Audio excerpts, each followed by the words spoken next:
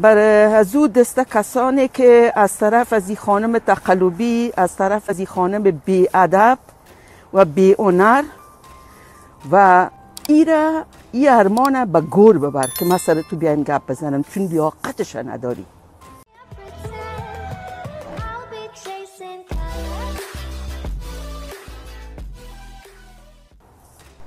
سلام عزیزان من فقط یک پیام دارم برای از او دسته کسانی که از طرف از این خانم تقلبی از طرف از این خانم بی ادب و بی اونر که نام زن هنرمند ای بد کرده هر روز و اشکال مختلف از طریق پیام از طریق کامنت میایه و ما توهین می‌کنن. شما تا نمی‌فهمید که ما چقدر ما دلیت کردیم و رپورت کردیم.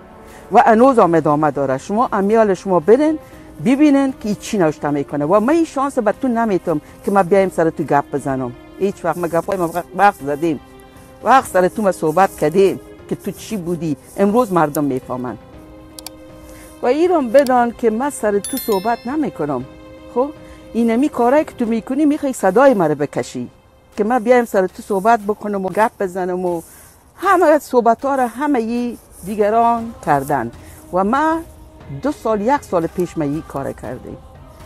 و ایره ای ارمان به گور ببر که من سر تو بیایم گپ بزنم چون لیاقتش نداری. دیگه مزاحم من نشو.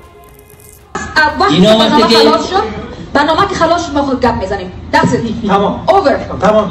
تشکر. ما سلامت شراب خورده به احترامی به کس نکردیم خلاص. ما کی شراب خورده می‌خوره؟ به کس نکردیم خورده وقتی اتهام دادم روی مردم بزنین باید ما دفاع بکنیم. شراب کی خورده؟ ما بسیار معذرت می‌خوایم.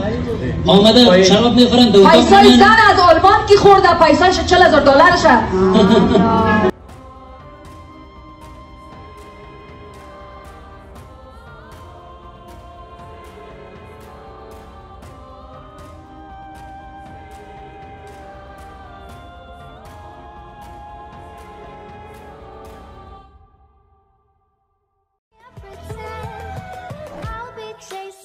Oh,